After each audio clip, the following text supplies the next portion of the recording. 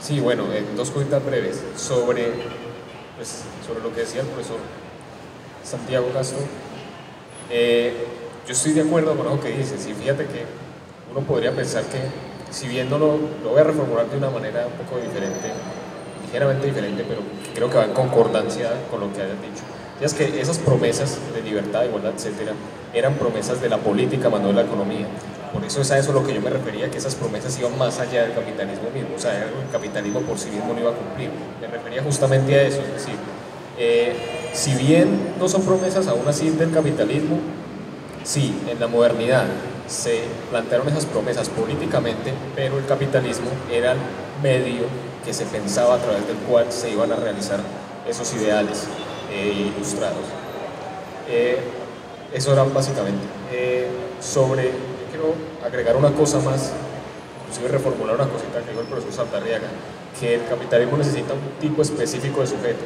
Yo diría más bien, estando de acuerdo pues en la caracterización, que lo que el capitalismo necesita es un sujeto vacío, es decir, un sujeto desprovisto de subjetividad. ¿A qué me refiero?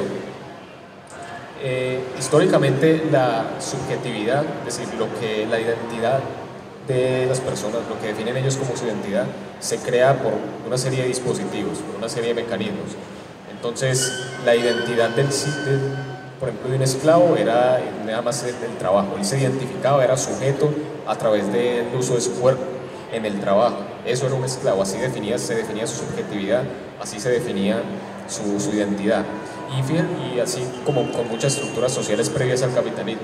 Lo característico de ellas es que la subjetividad, la subjetividad que se marcaba en esos sistemas sociales era una subjetividad clara, por así decirlo, era evidente, en el sentido de que el esclavo es el esclavo y define todo su ser a través de su ser esclavo, el amo es el amo y define su subjetividad a través de lo que es ser un amo, el rey es un rey y define su subjetividad a través de todo lo que significa ser un rey, el vasallo, etc.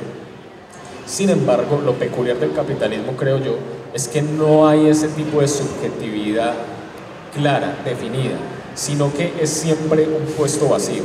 Y ahí entra lo que el profesor, creo que el profesor Santarriaga apuntaba, era que a través de nuestra relación, sobre todo con, el, con las mercancías, básicamente, que es nuestra relación con el consumo, con el tiempo de ocio, todo lo que caracterizó al profesor Santarriaga, es una búsqueda de llenar esa subjetividad que el mismo sistema económico, es decir, el capitalismo, por sí mismo no llena, sino que deja el espacio para que definamos nuestra subjetividad a través de nuestra relación con la mercancía. Así, por ejemplo, cuando uno le pregunta, generalmente, cuando uno se interpela a sí mismo o interpela a los demás respecto a quién es usted, es una pregunta muy existencial. Generalmente, una persona va a definir lo que es ser a través de sus relaciones con los objetos a través de sus relaciones con los objetos en el marco de la mercancía. Entonces yo me defino a través de lo que me pongo, a través de lo que consumo en términos de alimentos, a través de X o Y bien material. Entonces yo creo que más que eh, el capitalismo definir un tipo de subjetividad específica, lo que define es una actitud que busca llenar su subjetividad a través de lo único que le presenta el capitalismo, que es el consumo de mercancías y su relación con él. Vale. Reacciono Sí, a ver, los filósofos somos un poco canzones porque siempre estamos eh, trabajando con los conceptos y precisando las nociones y todo eso. Y a veces a la gente no le gusta conversar con los filósofos por eso, porque empiezan a patinar, bueno, definan lo que me está diciendo. Este. Pero aquí hemos introducido una noción que es la noción de sujeto y de subjetividad. Y yo quisiera empezar con una precisión y es que eh, no es posible un sujeto que sea esclavo, o sea, no hay, la, esclavitud y la subjetividad son nociones antitéticas en filosofía. Pues, la subjetividad supone siempre la autonomía en filosofía, jamás la servidumbre. Entonces no hay sujeto esclavo.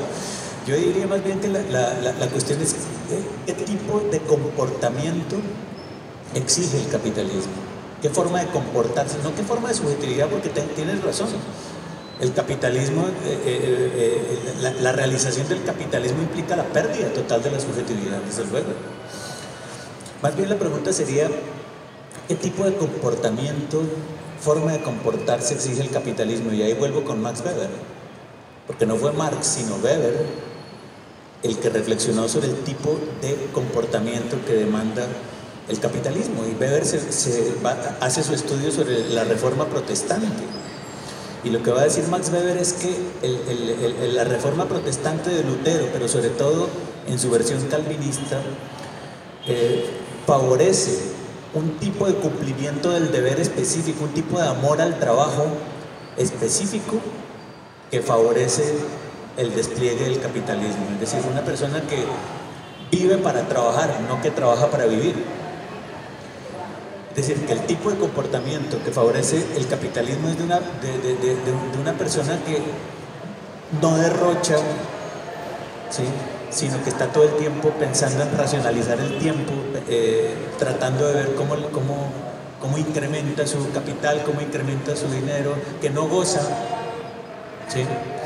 Y Max Weber en ese famoso estudio de la ética protestante y el espíritu del capitalismo va a tratar de hacer una genealogía del tipo de comportamiento que demanda el capitalismo. Ahora bien, en Colombia no hemos tenido la reforma protestante, si bien estamos eh, asediados por un montón de iglesias evangélicas que, que, ustedes lo ven, que tiene una incidencia política preocupante.